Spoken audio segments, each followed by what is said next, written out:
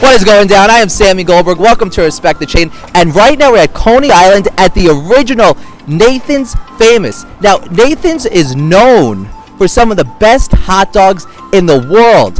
And they have perfected the hot dog from the spices to the crispiness to the texture. They are legendary. Now, Nathan's has been here for over 100 years and they continue to sell thousands of hot dogs a day.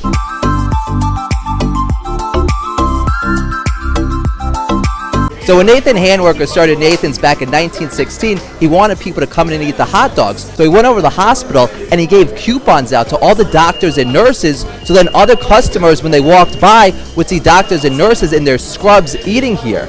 And that actually made more and more people come, and that helped build Nathan's to what it is today.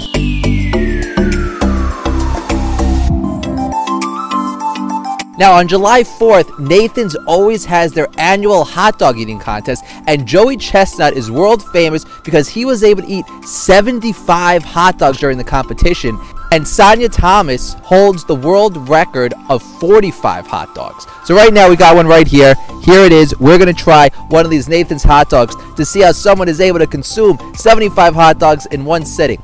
Now, first of all, take a look at this. Here's the hot dog, and as you can see, the hot dog actually comes out of the bun. That is a great sign. So this hot dog is going to be really good because there's going to be two snaps on it. There's going to be a snap on the left and a snap on the right. I get that crunch. You get an immediate crunch instantaneously. It's all about that crunching sound. That's how you know it's good.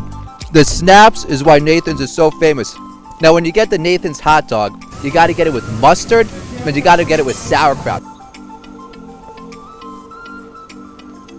The sauerkraut is sour, the mustard is spicy, and the hot dog is delicious. Now, Nathan's isn't only known for their hot dogs, they're actually known for their crinkle cut fries. Take a look at these. It almost looks like a potato knish.